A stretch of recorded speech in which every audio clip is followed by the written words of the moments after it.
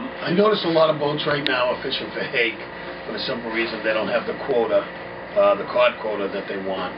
They're paying a lot of money for our cod quota, so they're fishing for hake. And what's happening now is uh, there's plenty of hake around, which is a reasonable price fish. But I also noticed that cod is becoming a reasonable price fish. Um, I know a lot of Canadians are bringing uh, cod down. There's an area in Canada that opened up, and uh, they're sending all kinds of cod down. The price of cod, small cod, it's been under a dollar. Haven't seen that since the 70s. Uh, large cod, market cod, been under a dollar fifty.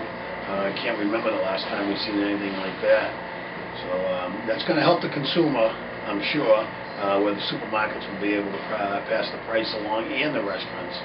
Um, but uh, you know, we're seeing a lot more cod than we have. That the government, I don't know, they predicted the cod stock to be gone, but it looks like it's coming back pretty good.